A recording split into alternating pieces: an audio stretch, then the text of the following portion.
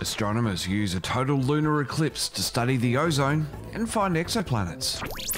The 1987 supernova may have brought the universe a neutron star. And Starship finally soars and lands in another successful test flight for SpaceX. It's Tuesday, August 11, 2020. I'm Matt Miller. This is Talking Science on Trek Zone, and we're into day 11 of our August campaign for 2020. Can you help us help Guide Dogs Australia? Beam over to bit.ly slash TZ Guide Dogs and donate to our pack now. With the latest science and space news five days a week across Apple Podcasts, Spotify, Google Podcasts, and YouTube. This is Talking Science with Dr. Brad Tucker and Matt Miller. It's another Tuesday, which means it's another Talkin' Science, but it's uh, a joy because Dr. Brad Tucker is here once again with all the science and space news headlines. Brad, welcome. How's it going? Really good, really good. Uh, another week of science news. It's now the 33rd week of 2020. Don't remind me. no, it's uh yeah, next week is what we we call Science Week, which in Australia is a it's a big, you know, lots of science activities, festivals, public engagement, which is really cool and it's crazy to think it's it's already here and that we're already you know, approaching mid-August, it's uh, it's a bit wild. Well, people can find you on social media to check out the latest happenings with Science Week. Dr. Brad Tucker on Facebook, uh, btucker22 on Twitter. I'm on Twitter at Miramat86, and of course Trek Zone all over social media as well. Just search for Trek Zone. Brad, let's dive in. Talking Science headlines.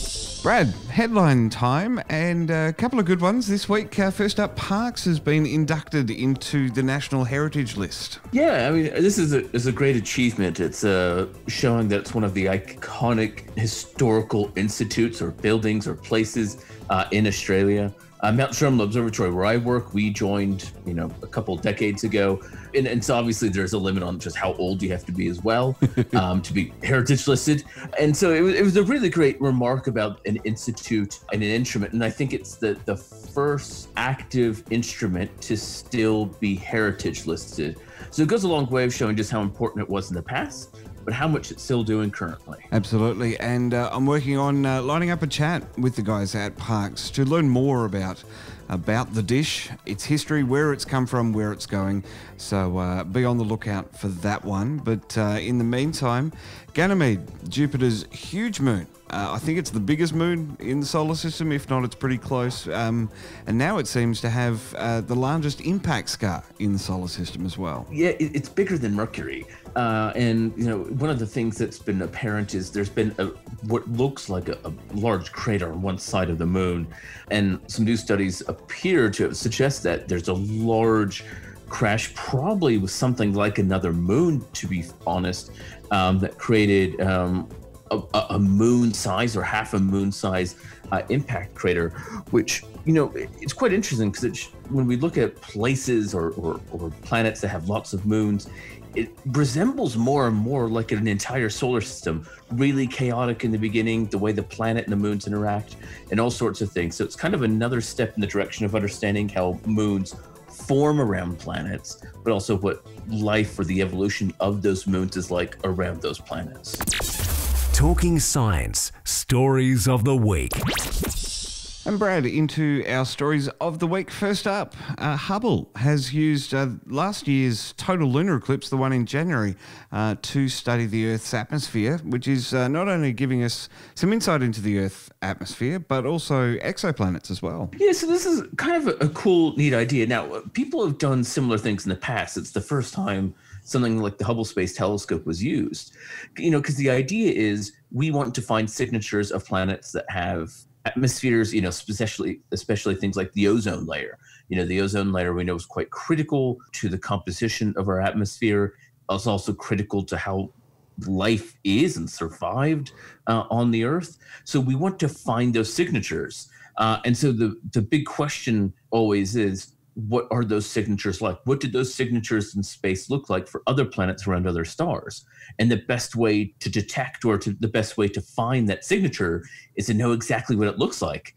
And the only place we can guarantee has an ozone layer with life is this planet. So it's a really great way of tying something you know, fairly straightforward and simple into the help in searching for habitable planets in the solar system. And Brad, for people wanting to check out our full chat about the ozone layer and, and using the total lunar eclipse by the Hubble, uh, everyone can check out episode number 433. And Brad, next up for our stories of the week, and it's a hot blob, more over known as Supernova 1987A. Uh, so I was uh, just under one year old when this thing happened in the Large Mag- Magellanic Cloud, and now it seems that um, a neutron star has formed. 1987A has been, you know, one of the most studied supernova. You know, and this is the thing my actually main area of research. Because it occurred in the large magellanic cloud so our neighboring galaxies on a dark night uh, here in the southern skies if you look towards the south you'll see these two faint fuzzy clouds and one's called the large magellanic cloud and one the small magellanic cloud. When a supernova went off on february 24th 1987 you know it was super bright. It actually sent neutrinos here on earth high energy particles detected exactly 24 you know, it was so bright that some of the bigger telescopes had a hard time almost staring at it because of how bright it was, um, because it was this nearby thing.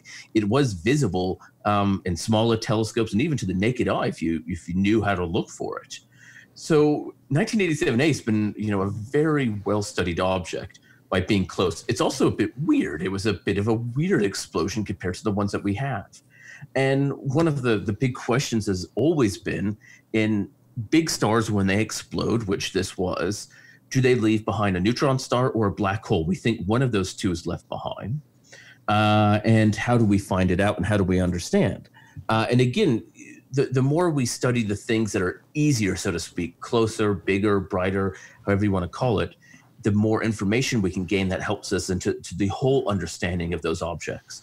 And so now 87A, it appears that it did in fact leave a neutron star behind in its explosion. Well, Brad, for people wanting to check out our full chat on uh, this 1987 supernova bursting into a neutron star, uh, uh, it is episode number 434.